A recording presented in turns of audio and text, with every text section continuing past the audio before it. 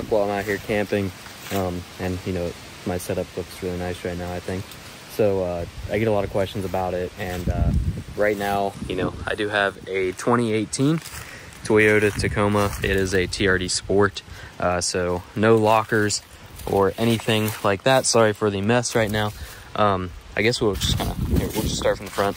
Um, so I've got like the alternate grill um, with the radars and everything in it. Um, when I bought the truck, it did have like the uh, quote unquote Raptor style lights. I got rid of those and uh, didn't really like the way it looked. Um, as we kind of come around here, um, do have some uh, black Rhino wheels. I really like those a lot. Um, been a big fan. Um, a lot of leaves fall. I'm Gonna have to clear this out. Um, need to actually clean down in there soon. Anyway, but uh, have some uh, ditch lights here, um, angled outward. Don't really use them that much. I'll show you in a second. I actually need to redo the uh, switch for those um, up top on the uh, DV8 roof rack. I have a 40 inch, I believe is what it is, curved light bar. Um, you can see there, it's kind of curved around, rough country. Um, an All-Top awning. I'd normally put this out, but today really didn't want to mess with it. And, uh, you know, there's pretty well shaded here where I'm at anyway, and no chance of rain right now, so should be fine. Um, we come, you know, up top. Yes, if I can hop up there and show. Um, I do have traction boards as well as a case. I can keep some recovery gear, that sort of thing in. Um, a couple of my stickers. I love stickers if you couldn't tell. I'll show you the ones on the other side. Actually, one of my favorite ones is over there. Um, Billie bars on the rack and a uh, soft roll up cover.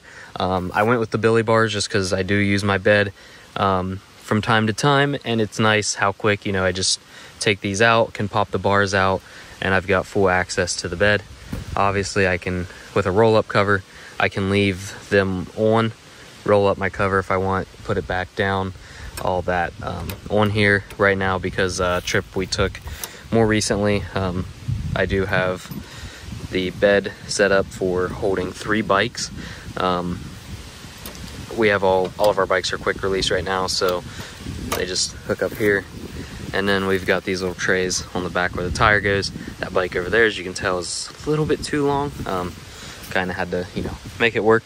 Um, the bed cover is actually not one. So Billie bars, um, obviously one thing that people do with them is they like to use them with bed covers. This bed cover wasn't made for them, but uh, I just kind of, you know, cut it to make it work. Um, unfortunately, did leave a little bit of gap in there, and it's because I've moved these, you know, back and forth, so I had to trim a little extra out. Um, I don't really care for my bed to, you know, it doesn't have to be super tight, and really no moisture gets in here, really unless I like go through go through and wash my car or something like that. Um, sorry again about the mess. Got uh, got little camp set up here. I'm gonna do some food in a little bit, um, but I pretty much keep everything in the back, as you can see, in bins. Um, when I'm camping, it just makes it a lot easier. Um, as we come around, like I said, you can see how how the tires mount on there. They you know strap the back, and then if we go up here, you know it's pretty pretty solid. And then I keep those locked, of course. Um, oh, there's like my you know stickers on this side. Um, the West Virginia one I think is super cool. Um, I did. Uh, the person I bought the roof rack off of, or the roof rack from, um, he did have the uh, lights on the side. He included those as well as the light bar on the front. I did not put these in just because I don't use them on the other side, and uh, I don't have a switch panel yet, so I tried to limit how many I had in. Um, in the back of the truck, this is where you know I'm gonna keep. Again, sorry about the mess. This is a last minute trip, but uh, I keep the fridge in here. Um, and then over on the other side, I do have the uh, the EcoFlow to power it, but uh, keep the fridge in the back seat. Um, and I actually have it where you know I took the part of the seat out for this side. That way it lays. This is completely flat and uh, kind of store everything in there. But I do leave that seat over there. Um, I got a cool little smell that is obviously awesome. Um, obviously everything's pretty much the same over here. Everybody knows what the uh, Tacoma is like. Um, so yeah, so that is the truck setup. Um, I do uh, for now for camping. When I first really kind of got into overlanding, I did do the rooftop tent, um, but I have recently switched over to a Gazelle tent, um, the three-person one, and I'll kind of do a video going in depth on that reason why I made that switch. But um, so for now, I do have a Gazelle three-person like quick pop-up tent. Um, it does have the Rainfly on right now. Um, all the, you know, it's got the windows, stuff like that. If you go inside here,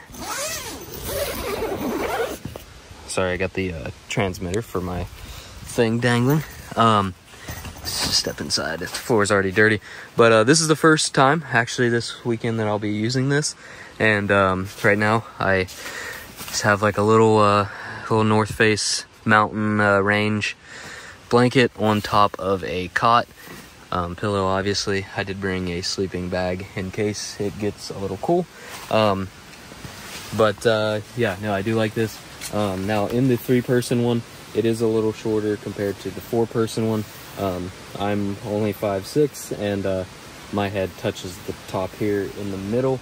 Um, if you go towards the outside, it definitely, but that doesn't really matter to me. I don't, you know, need to stand up in here that often. Um, so that's never really been a big concern of mine. Um, it is cool. You do have these little, uh, like I said, storage spots. You have like one up here. You can put some stuff. Um, you got one on that side, that side, as well as that side.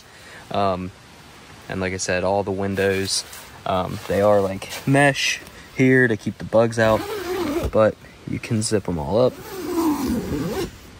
And uh, overall, just kind of first impressions. Um, first impressions, I will say, is seems to be pretty nice. I'm super excited to use it. Um, the tent stakes that come with it, you know, like I mentioned um, before, they are a little rough. So I'm glad I got new ones on the way. But um, but yeah, so right now that's again that's my setup for camping. Um, I'm super happy with it. I've loved the Toyota um, so far, and uh, it's treated me really well. Um, the one thing I've always said is if I get rid of it, I, I am gonna miss. You know, I do like the wheels and the way it's starting to look, um, but potentially in the future, might be changing it up a little bit. Um, like I mentioned, you know, when I first started the bed top uh, or rooftop tent, whatever you want to call it, was what I rolled with. Um, and again, I'll, I'll kind of dig into that, but briefly, you know, just uh, it was super awesome. I loved it. It's almost like being in a treehouse. But uh, the only thing, or how you know, you set up quick. You don't have to fly, find a level spot on the ground. You can literally deploy it anyway, anywhere. Um, however, I did learn while you didn't have to find a level spot for your tent, you still had to find a decent level or decently leveled spot to park your truck. Um, and you know, like where I'm at right now would have been okay, um, not the worst. I ended up, I did keep some like leveling blocks in the back of the truck so I could, you know, help out a little bit. But uh, if not, you were always slanting one way or the other. And in that tent, that was really uncomfortable. These are falling. Um, and the other big the other big reason really so like i said that could be a pro and con depending on where you're at and how you're camping um, but a reason why i wanted to switch over to you know not just the gazelle but like a, a ground tent um, that could pop up pretty quick uh, was really being able to set up camp and if i need to leave or want to leave drive away um, i can always come back with the ground tent the rooftop tent i had a clamshell style and you had to fold everything up before you could go. Um, now I did like how fast the rooftop tent, you could deploy it and then of course pack it up when you're ready to leave. Um, so when I was looking for a ground tent to use, uh, I needed something like the quick pop up just because I didn't want to fool with um, tent poles and that sort of thing. I do that when I go backpacking. Didn't want to do it overlanding. So yeah, I went with the went with the Gazelle three person tent. It's all I really need in size. Um, and also having a Tacoma, um, the bag for the three person one, um, when it packs up, it is actually short enough to fit in the bed straight. Um, the if you get the four person, um, you kind of have to go at an angle, you know, one way or the other to get it to fit, but not an issue with this one. So yeah, so right now, like I said, um, that's kind of my setup. Let me know what you think. Um, you know, uh, I'll put links to some of the products that I have down in the description below. Um, I think you'll, you know, the All-Top overland equipment awning has been awesome for the price. Um, I definitely would recommend it.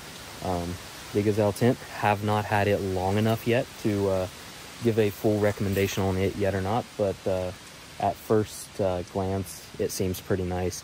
Um, and like I said, if you're thinking of rooftop tent or ground tent, definitely be on the lookout for my video comparing the two of those here soon. Um, so yeah, that's pretty much it. If you like what you see, don't forget to like, subscribe, and uh, comment down below. And uh, look to uh, hear from you guys and make future videos.